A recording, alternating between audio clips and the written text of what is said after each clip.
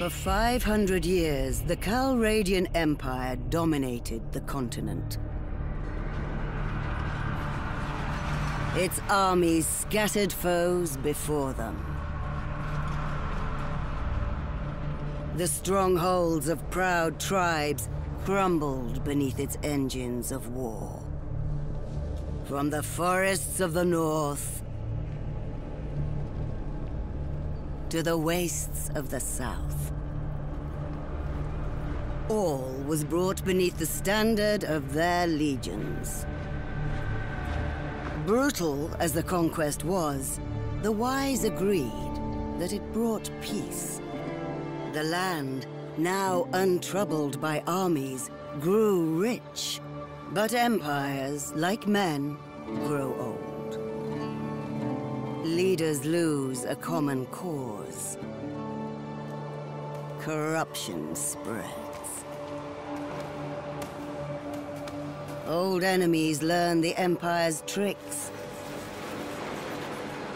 and devise new ones of their own. Until one day, the bonds holding the Empire snap. Then comes the Civil War, pitting all against all. A time of hatred.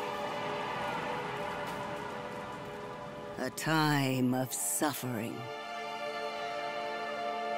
But also, even in the worst hours, a time of courage and defiance.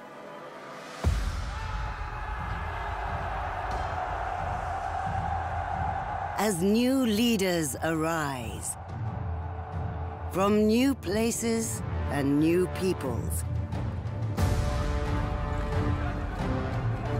to turn back the tides of destruction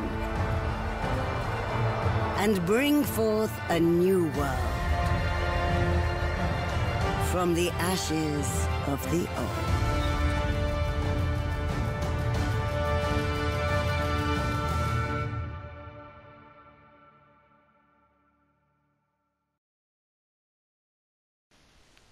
This is Mervil. He was born of noblemen. There has been a war since the day he was born, and when he came to age, he became a soldier alongside his brother. They tried to get their family out of harm's way. But in doing so, they came across raiders who killed their father and had their way with their mother. When they had the chance, Mervil and his brother fought them off, not noticing that the raiders ran off with their brother and sister. In three days now we've bastards. I think we're getting close. We need to think about what happens when we catch them. How are we going to rescue our brother and sister? Are we up for a fight?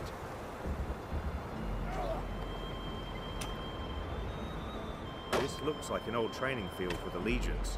Perhaps we can spare some time and brush up on our skills. The practice could come in handy when we catch up with the raiders. Are we ready to leave here? We're here, I guess. So, we need food, and after that, maybe some men to come with us. The head man here can probably help us. Let's try to find him.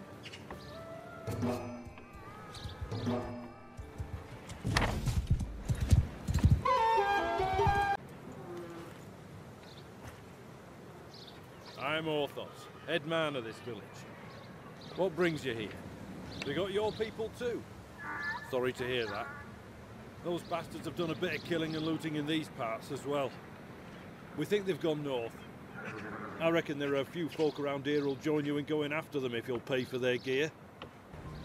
Once you've made your preparations, come and talk to me again. I may have a task if you're going after the raiders.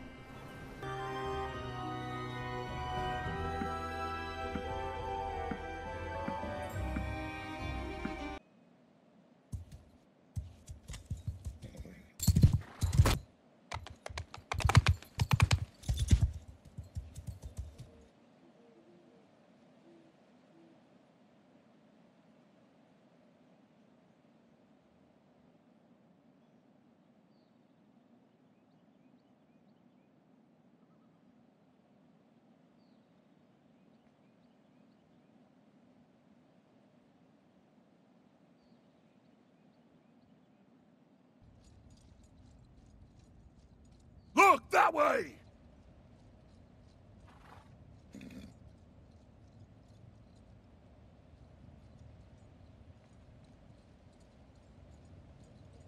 Shields up!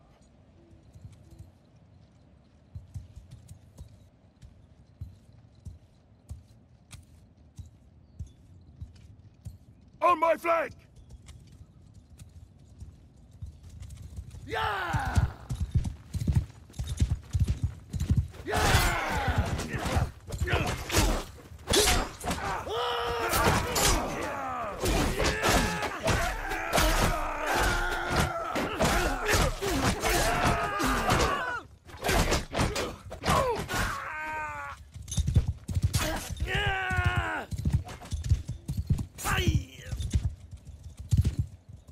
Victory! Ah! Vic-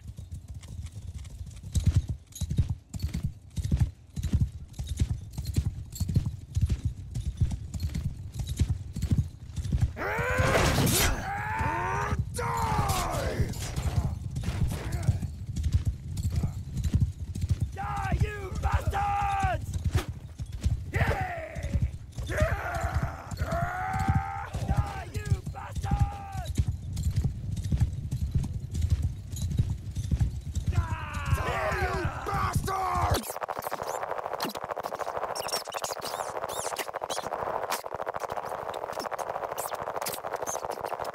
The day is ours! Victory! We win!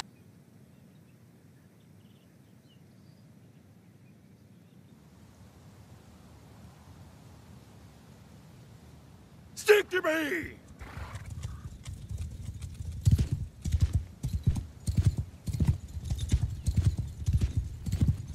Ah, take that! We won! I don't know who you are, but I'm in your debt. These brigands would have marched us to our deaths. I was with a caravan, and they just came out of the brush. We were surrounded and outnumbered, so we gave up. I figured they'd keep us alive, if just for the ransom. But then they started flogging us along at top speed without any water, and I was just about ready to drop. I could feel the signs of heat stroke creeping up, and I told them, but they just flogged me more. If your group hadn't come along, maybe I have a way to thank you properly.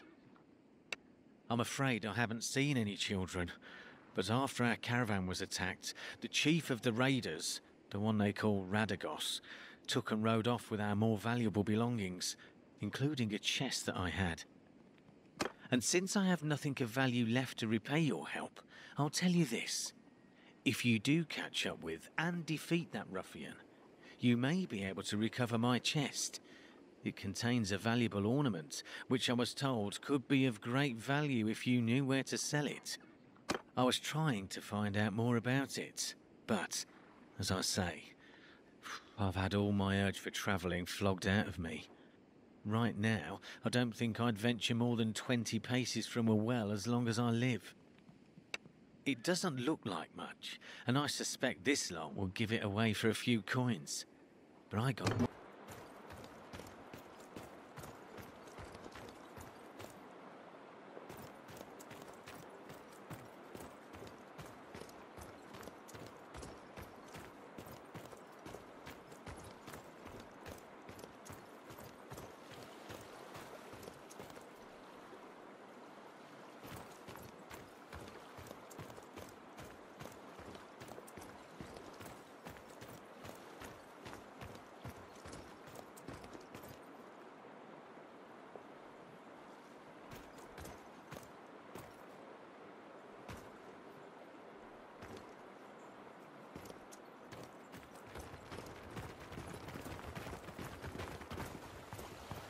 Come on!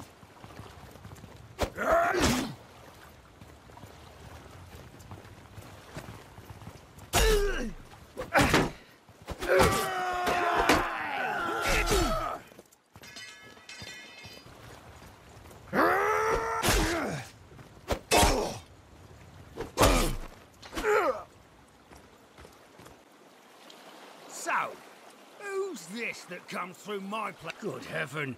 I need a better description than that. My men have harvested dozens of little brats in this region. Quite good hunting grounds. Already sent most of them off to a slave market, I know, though. Since your hunt for your kin is fruitless, how about you clear off and save your own lives? Even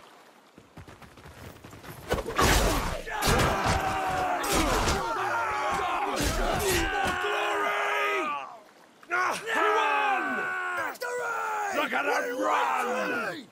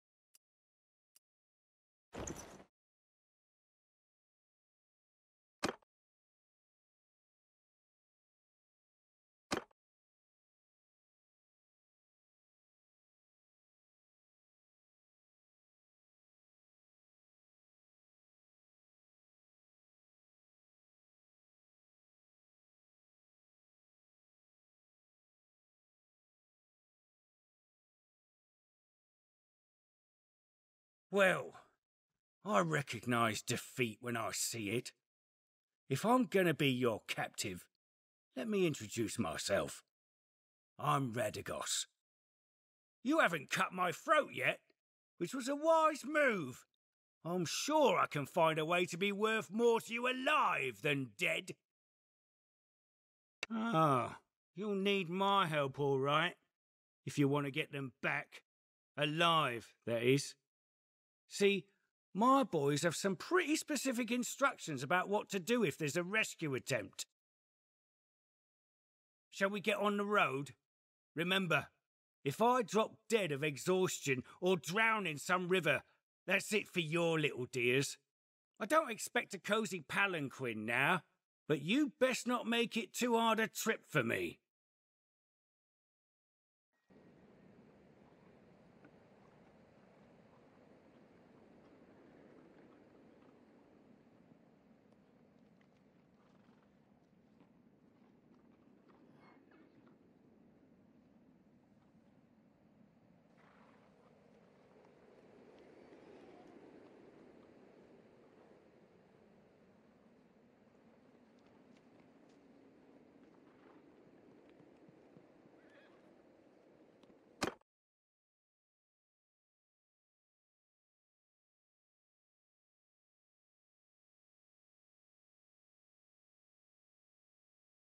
I was hoping to find more treasure here, but I think business wasn't going too well for Radagos and his gang. I found this strange looking metal piece, though.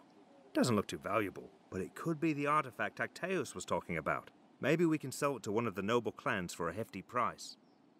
I have a better idea. We would have a better chance if we split up now.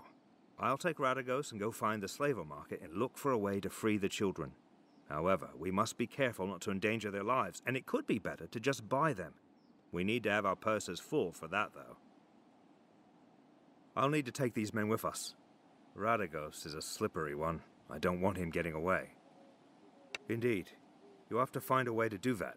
Maybe this bronze thing can help. Tacteos said it could be worth a fortune to the right person, if you manage not to get killed. If he's telling the truth, you must be careful. Never reveal that you have it, but try to understand its value and how it can be sold. One more thing. When you are talking to nobles and other people of importance, make sure you present yourself as someone from uh, a distant but distinguished family. You can use our family name if you like, or make up a new one. You will have a better chance of obtaining an audience with nobles, and it'll be easier for me to find you by asking around.